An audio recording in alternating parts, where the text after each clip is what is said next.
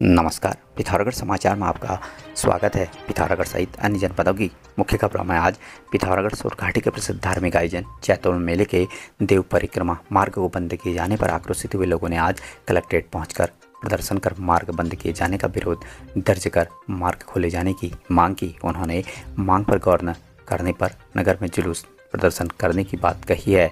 सोरघाटी में चैत्र माह में हर साल देवल समेत बाबा द्वारा 22 गाँव में बिटौली देने को लेकर देव डोरा निकलता है, पर एम द्वारा इस बार दीवार लगाकर मार्ग को अवरुद्ध कर दिया गया है। इस दौरान मार्ग खोले जाने को लेकर आगामी 16 मार्च को बस्ते गाँव में 22 गाँव की महापंचायत के आयोजन का निर्णय भी लिया गया। मार्गबंदी के जाने को लेकर लोगों ने आस्था व धर्म के साथ खिलवाड़ बताया। उन्होंने शीघ्र मार्ग न खोले जाने पर उग्र आंदोलन की चेतावनी दी है। प्रदर्शन के उपरांत लोगों ने मार्ग खोले जाने की मांग का एक पत्र जिलाधिकारी के माध्यम से प्रदेश के मुख्यमंत्री को प्रेषित किया है। हमारी आस्था के साथ खिलवाड़ करने की यहाँ पे कोशिश की गई है। बाईस गाँव की आस्था इससे जुड़ी है और साथ ही साथ तमाम शोर के लोगों की भावनाएँ यहाँ पे जुड़ी हैं। लेकिन जो रास्ता हमारा पौराणिक समय से चला आ रहा है, उसको बंद करना कहीं ना कहीं हमारे धर्म के साथ भी खिलवाड़ है। तो हम यहाँ पे प्रशासन से कहना चाहते हैं कि सोलह तारीख को अगर उससे पहले यहाँ पे वो रास्ता खुलवाया नहीं जाता है तो हम सोलह तारीख को बस्ते में एक महापंचायत करने वाले हैं, जिसमें 22 गाँव के साथ साथ सूरघाटी के हज़ारों लोग, माताएँ, बुज़ुर्ग, बच्चे, सब वहाँ पे एकत्रित होंगे और एक रैली के तौर पे हम शहर के मध्य होते हुए जिलाधिकारी कार्यालय में पहुँचेंगे। पिथौरागढ़ के गंगोली हाट में कंडारी जिला संघर्ष समिति के अध्यक्ष हरीश भंडारी के नेतृत्व में आज पाँच गाँवों के ग्रामीणों ने तहसील कार्यालय पहुंचकर पाँच सूत्री मांगों को लेकर एक ज्ञापन प्रदेश के मुख्यमंत्री को प्रेषित किया। ज्ञापन में ग्रामीण क्षेत्र की पेयजल, सड़क, शिक्षा, स्वास्थ्य सहित अन्य समस्याओं के निस्तारण की मांग की है। इस दौरान ग्रामीणों ने कहा कि समस्याओं के समाधान को लेकर वो बीते लंबे समय से मांग करते आ रहे हैं, पर अभी तक मांगों को लेकर कोई सकारात्मक पहल नहीं हुई है, जिस कारण क्षेत्रवासियों को कई तरह की परेशानियों का सामना करना पड़ रहा है। उन्होंने मांगों को गंभीरता से लेते हुए शीघ्र उचित कार्रवाई किए जाने की मांग की है। ज्ञापन सौंपने वालों में दर्जनों ग्रामीण शामिल थे। पेयजल में बाइसकोट पंपिंग योजना बनी, हमको वहाँ पर छोड़ दिया। जब उसी का हमारे यहाँ जयखला है, या बुसैल में सरयू है, जो वहाँ से पंपिंग योजना हमारे यहाँ भी बने पिथौरागढ़ में आज जिलाधिकारी रीना जोशी ने बेस चिकित्सालय का स्थलीय निरीक्षण कर व्यवस्थाओं का जायजा लिया और संबंधितों को आवश्यक दिशा निर्देश जारी किए। निरीक्षण के दौरान सीएमओ डॉक्टर एस सियांकी ने बताया कि बेस अस्पताल में चार चिकित्सक तैनात हैं और दो चिकित्सक बुधवार को तैनाती लेंगे। चिकित्सालय में डायलिसिस की चार मशीनें हैं और आठ मरीज़ रोज डायलिसिस के लिए आ रहे हैं। साथ ही सीटी स्कैन व ब्लड सैंपलिंग का कार्य भी जारी है। पिथौरागढ़ नगर में आज भाजपा जिलाध्यक्ष गिरीश जोशी की अगुवाई में भाजपा कार्यकर्ताओं द्वारा प्रदेश में नकल विरोधी कानून बनाए जाने को लेकर आभार रैली निकाली गई। रैली। नगर के विभिन्न मार्गों से होते हुए गुजरी और कार्यकर्ताओं ने नारे लगाते हुए सूबे के मुख्यमंत्री पुष्कर सिंह धामी का आभार व्यक्त किया। इससे पूर्व भाजपा कार्यालय में आयोजित बैठक में विभिन्न विषयों पर चर्चा की गई। रैली में कई पदाधिकारी और कार्यकर्ता शामिल थे।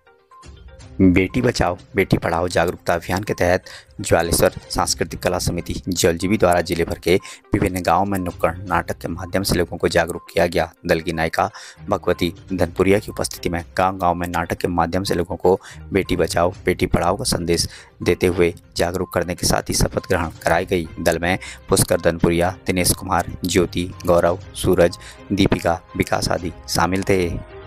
नशामुक्त अभियान के तहत पुलिस अधीक्षक बागेश्वर, हिमांशु कुमार वर्मा के आदेशानुसार अवैध मादक पदार्थों की तस्करी और बिक्री करने वालों के खिलाफ चलाए जा रहे अभियान के तहत बैजनाथ क्षेत्रांतर्गत चेकिंग के दौरान आरोपी हरीश गुर्रानी निवासी पिंगलों को लोगों को शराब पिलाने व मौके से अवैध शराब के साथ गिरफ़्तार किया गया। आरोपी के खिलाफ आबकारी अधिनियम में मामला पंजीकृत किया गया है।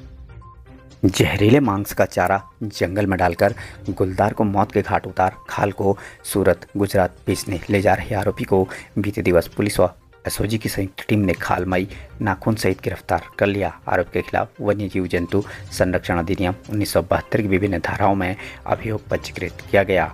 नैनीताल पुलिस से मिली जानकारी के अनुसार एसएसपी पंकज भट्ट के आदेशानुसार ज़िले में मादक पदार्थों की तस्करी की रोकथाम व वन्यजीव संरक्षण के तहत तस्करों पर निगरानी करते हुए बीते दिवस मुखबिर की सूचना पर थानाध्यक्ष चोरगलिया, भगवान सिंह मेहता व एसओजी प्रभारी राजवीर सिंह नेगी के नेतृत्व में संयुक्त टीम द्वारा चोरगलिया के निकट चेकिंग के दौरान जसपुर खोलिया जाने वाले मार्ग के निकट एक व्यक्ति के संदिग्ध प्रतीत होने पर उसे रोककर कंधे में लगे बैग की चेकिंग की गई। तो बैग में से एक गुलदार की खाल मिली। वन क्षेत्राधिकारी घनानंद चन्याल द्वारा मौके पर पहुंचकर गुलदार की खाल होने की पुष्टि की गई। आरोपी सूरज कुमार, पुत्र सुरेश राम निवासी, कालीपुर, पोखरिया, चोरगलिया उम्र 24 वर्ष को मौके से गिरफ़्तार कर सुसंगत धारा एवं अधिनियम के तहत अभियोग पंजीकृत किया गया। पुलिस की पूछताछ में आरोपी ने बताया कि कुछ महीने पहले उसने जंगल में जहरीले मांस को डालकर गुलदार को मार डाला और गुलदार की खाल निकालकर छुपा कर रख दी और मैं गुजरात चला गया। सूरत में खाल की डीलिंग कर बीते माह घर आकर खाल को बैग में ले जाकर सूरत बेचने जा रहा था। पुलिस टीम में उप निरीक्षक जगवीर सिंह एएसआई तनवीर सिंह सहित अन्य पुलिस एसओजी कर्मी शामिल थे। तस्कर को गिरफ़्तार करने पर आईजी कुमाऊं व एसएसपी नैनीताल द्वारा टीम को पुरस्कार देकर सम्मानित किया गया। कैंची धाम के निकट कार व ट्रक की ज़बरदस्त भिड़ंत में चार व्यक्ति घायल हो गए। पुलिस के त्वरित रेस्क्यू कर अस्पताल पहुँचाने से चार घायलों की जान बच गई।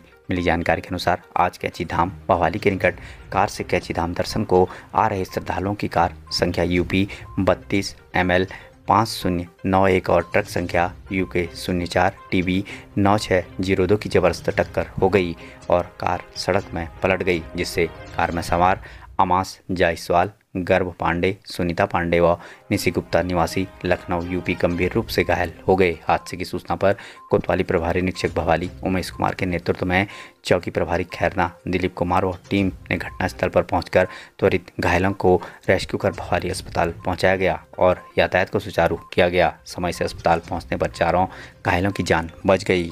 Public school Pithoragarh CBSE new Delhi से एफिलेटेड सीनियर सेकेंडरी स्कूल है। कंप्यूटर लैब सहित सभी कोर्सेज के लिए प्रोजेक्टर स्लाइड्स और साइंस लैब के साथ वेंटिलेटेड क्लासरूम्स ऑर्गेनाइज लाइब्रेरी इस स्कूल को वर्तमान में सभी बच्चों की पहली पसंद बनाता है। चैनल को सब्सक्राइब करें बेल आइकन दबाएँ। हमारे पिथौरागढ़ समाचार न्यूज़ यूट्यूब चैनल पर नियमित खबरें सुनने के लिए हमसे जुड़े, समाचार सुने। धन्यवाद।